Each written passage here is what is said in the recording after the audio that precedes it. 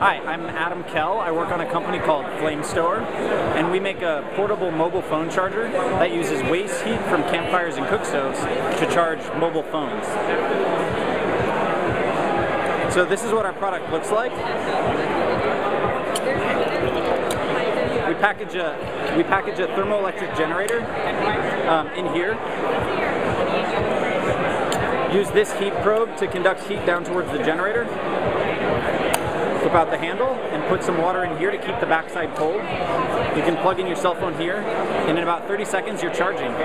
My background's in material science engineering at Stanford. I'm currently on a leave of absence to try to commercialize this technology. Um, and the, the reason that we're working on it is because really for, for the developing world, the new, uh, having cell phones is really it's the most important tool in their toolkit, right? It's their access to education, to healthcare, to activism, agriculture. Everything is done through this device.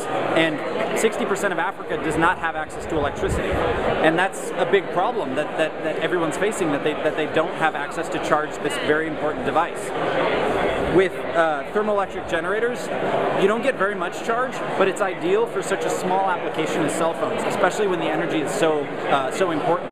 Uh, in the lab, we've demonstrated three and a half watts, which is on par. It beats a, a normal USB port inside of your computer, but it's a bit slower than uh, than charging a charging from a wall outlet.